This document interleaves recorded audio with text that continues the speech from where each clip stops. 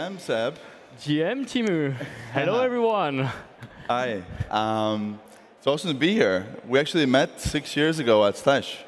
That's right. Time flies, but Slush is the best event like for tech content in Europe and gaming, and Yes. like it's fun that we met there. Yes, it is. We just figured it out before when we were talking about what to talk about. um, yeah, and we've actually had a kind of a common journey since uh, since that time. Uh, some some common touch points.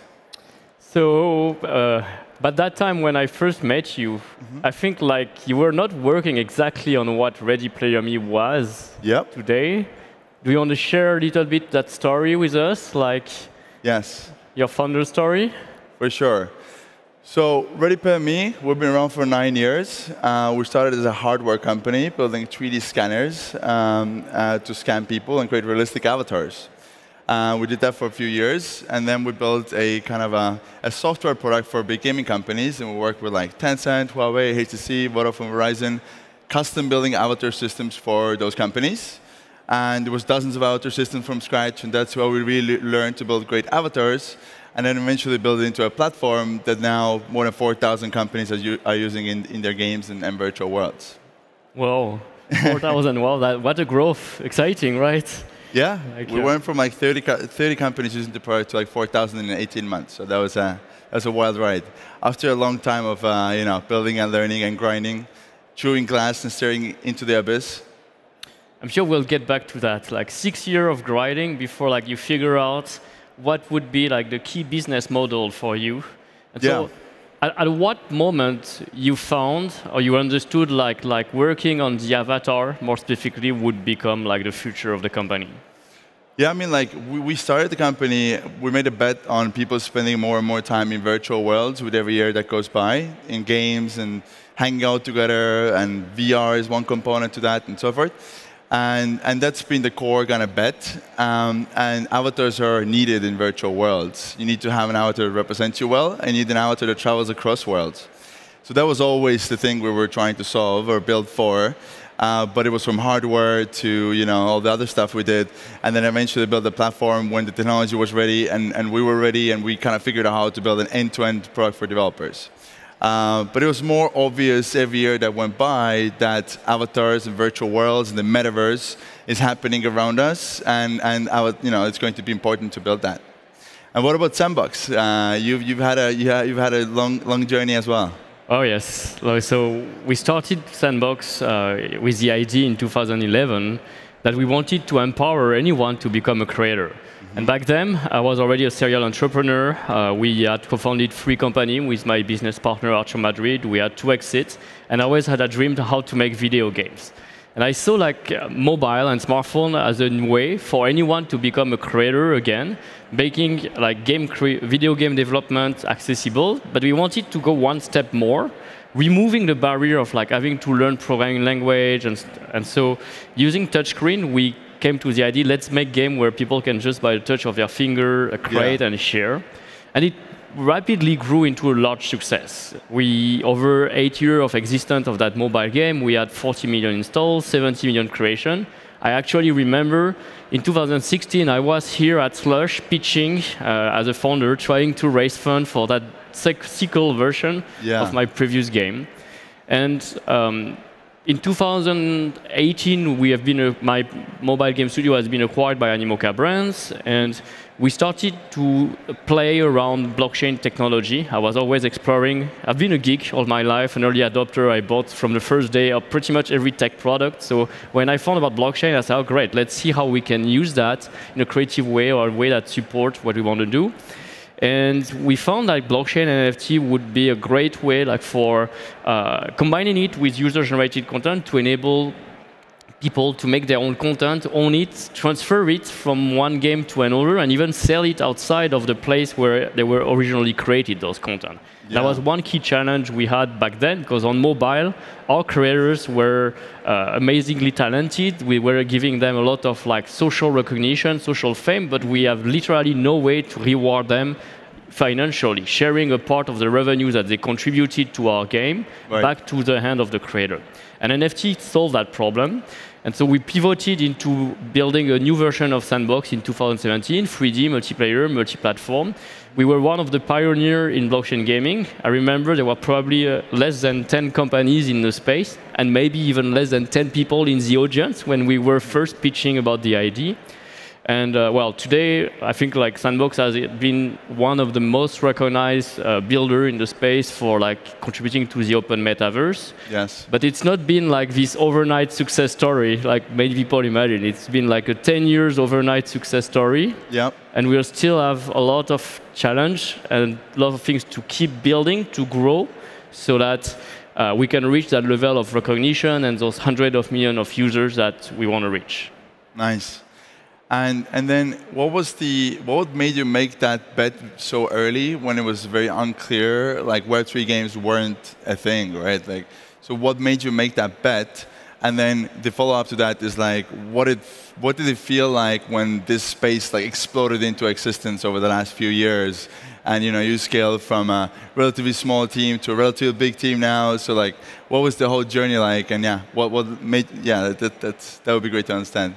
So what really drives us is like how like we empower the creator concretely. Mm-hmm. Like I might, every day I wake up, I have this passion to see what people are making. Yeah. I'm just having all that joy that it brings to see like people being empowered and uh, giving life to their imagination with new tools and doing things that even yourself couldn't imagine. And uh, it's true that uh, like adding that capa creative capability and now seeing as well that it had a positive impact in many people's lives thanks to the ability to monetize. Yeah. That's been amazing. But it's not been like a, a short journey for sure. And at the beginning, we, we had, of course, a lot of like uh, challenges, people who didn't believe we were capable of building that product, building that platform. Uh, but ultimately, when I being super laser focused on creator 1st Mm-hmm. being like user driven, and that's some of the core value in Web3. Like Web3 for me is user centric, community driven versus like profit centric or like trying to centralize all data. Right. And uh, that's ultimately that conviction, that passion for the space, uh, and all the different factor of being a geek and early adopter, loving and connecting with other entrepreneurs that have been driving us to where we are today. Awesome. And so, in your case, like, uh, how how did you see that growth from uh, like working with some of the major virtual worlds Yeah. today? How have you been uh, uh, pushing to the idea that they should open themselves Yeah. to connect with avatars that come from outside world and, and Yeah. use Ready Player Me as a solution? Have you seen friction? How have you addressed it? Yeah. So uh, for us, it was you know custom building out the tech for big companies to start, and then when we built Ready Player Me, why we really built that built Ready Player Me was because we saw there's kind of two paths, potential paths for the future of the metaverse, and one of them is is a good path, and one of them is not a very good path, uh, if you ask us. So one path is a more centralized path where the metaverse ends up being owned by one company or a few companies, and we spend most of our time in their worlds. Um, and that is a scary future. Like they make all the rules, they have all the power over the world we live in, essentially. Uh, not a good future. Uh, and the other path is a more open and decentralized metaverse, uh, where you know we end up more with more something more like the internet, where you can navigate different, between different pages and you can have a consistent experience across many virtual worlds. And it's built by millions of developers and creators, and not by one company, and it's not owned by anyone. Um, so, and for the open metaverse to really have a chance, there need to be services and standards and protocols that kind of make it easy for developers to link you know, different virtual worlds together. Um, and, and that's why we built Ready Me, because we felt the world is kind of getting ready for that. There's like a wave of decentralization. Like Web3 is like a set of technologies, but as importantly, it's a mindset and a philosophy, right? It's not building a walled garden, it's connecting worlds and so forth. And, and we felt that the, the, the world is ready for that, and that is the kind of macro trend comp com yeah, combined with like people just spending more time in virtual worlds. And then um, I think we kind of timed it right, um, and um, and yeah, like avatars just help kind of break down some of the virtual worlds and make it easy for people to navigate between different virtual worlds. It's a naturally consistent part of your metaverse experience across now thousands of experiences. So um, yeah, and when we launched, like we had also spent six years, you know, grinding our faces off and kind of learning what it takes to build a good avatar system. and so we knew what, what, what we have to build.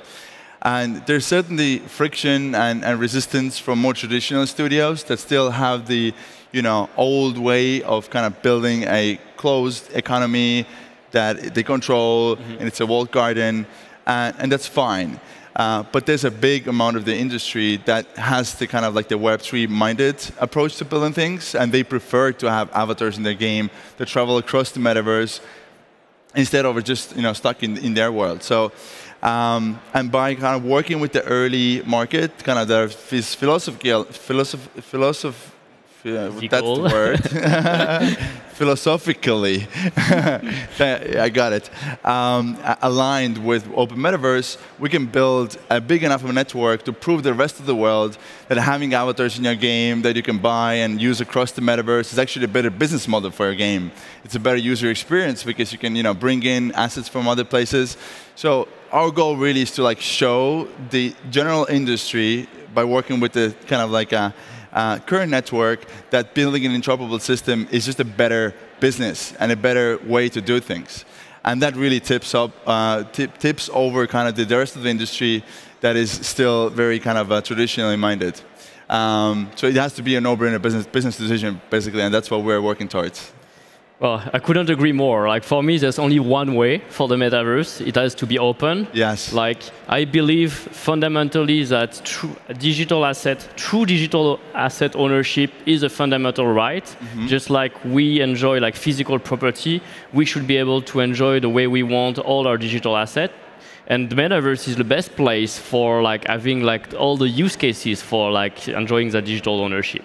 Yes. Avatar is like the best representation of a concrete use case for it. I think the most understandable, the most accessible, and uh, we've been building the sandbox with that vision. Like you want to be able to use avatars either from like various brands that we brought in yeah.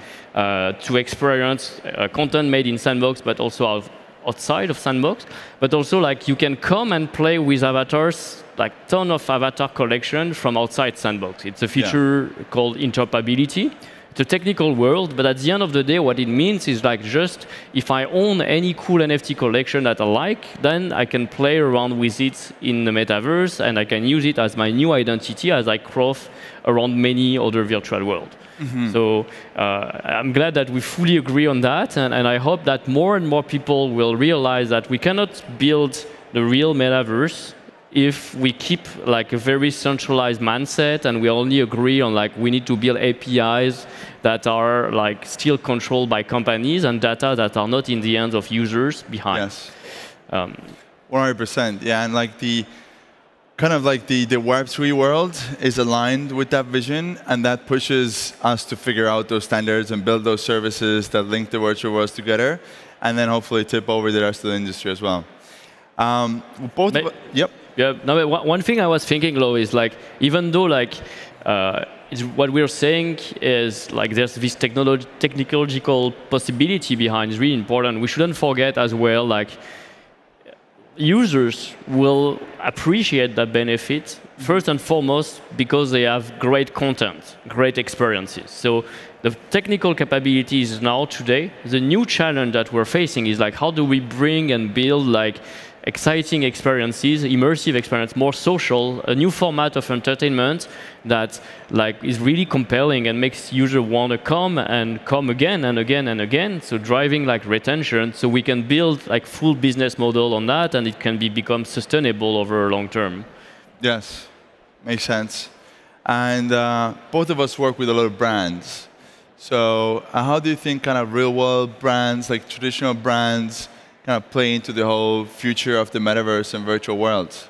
So brands is typically one part of the strategy to achieve that, like to bring exciting experiences through like the content, the characters, the stories, the location that people are already familiar with, mm -hmm. and uh, for them to interact in a more meaningful manner with their favorite characters, etc. And for the first time, because Sandbox is a very user-generated content platform, they can take those contents, uh, use them in the game maker, mix them, uh, take many of their favorite brands to create a mashup game if they want, or mashup experience, and monetize it the way they want as well. That's a strong first value proposition.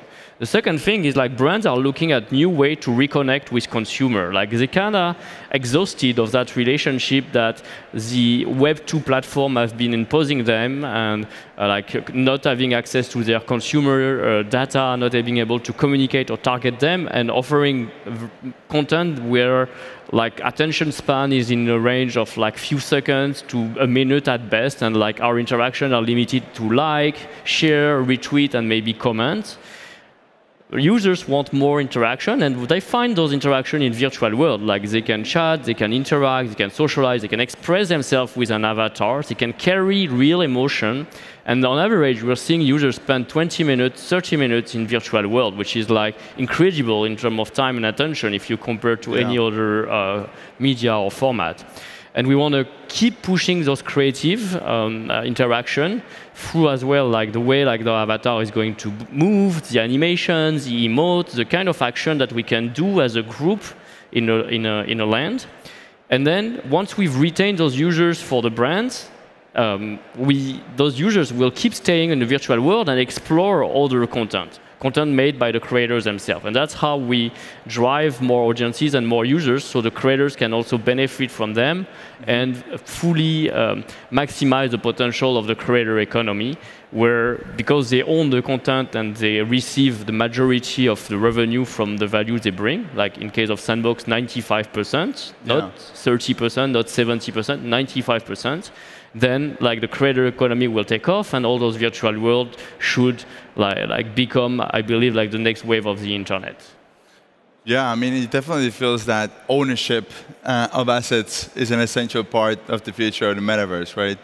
And that really like uh, motivates a lot of creators and, and, and builders to take part and innovate and build their careers around building stuff for virtual worlds. And uh, that creativity and, and that, that energy put into the space will you know, create a lot of new uh, types of experiences. So maybe to give some concrete numbers here, mm -hmm. uh, we're seeing like thousands of people whose job is like building content in Sandbox. From the beginning of the year, we have roughly 10 builder studios around the world. We were like pioneers to create those experiences for the brand or for themselves. Today, there's more than 230 studios around the world, almost every continent. And they have like long pipeline of production to build those experience and use like, like employ themselves people and so on. So indeed, and it's very exciting, like that ecosystem is taking off. And like you said, like the success of an ecosystem is essentially the success of the builders into it. So that's what we want to push forward. And. I, I, know that you're also working on something quite exciting on your own roadmap to open this avatar economy around as well in Ready Player Me. Yes, totally. So like how we think about building our product is like it's it's a tool. It's tool like a tool set of um, uh, and it kind of enables other people to build stuff. So avatars are nothing on their own. They're only useful if they're used in cool and awesome games and, and built you know by awesome developers. So that's really our focus. And then now we're also opening up the avatar content part. So like anyone can come in and create avatar accessories and assets, work with a lot of brands because that really enables them to like sell virtual fashion before they had to go to each individual ga game and make a deal and create custom assets for them.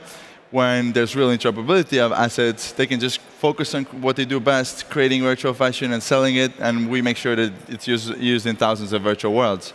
So, um, and that ability brings a lot more creators uh, into the space and opens up opportunity to take part of the virtual economy and so forth. Um, but let's uh, let's uh, let's change to founder topics. This is uh, this is a founder stage, right?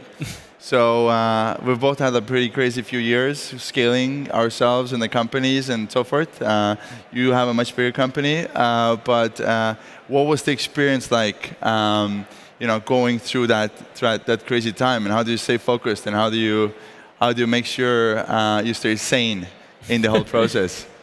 Well, uh, for sure, it's really overwhelming to see like how uh, for the past four years, Sandbox moved from being like, oh, they will never make it, to yeah. kind of like, oh, they did something interesting, and I'm interested to be part of that journey and build something in it. And um, the thing, the first thing that really uh, excites me the most is like this is global. Like every country I go and I speak, we're able to see like a, whole ecosystem of builders, of projects, of brands that want to be part of the metaverse, who want to also, because it's a virtual world, it has a map, so they want to own virtual land on that map. They want to develop neighborhoods, so that strong feeling of community, proximity, because we're in a spatial environment now. We're no longer just on a website or yeah. gallery of content that are disconnected from one another.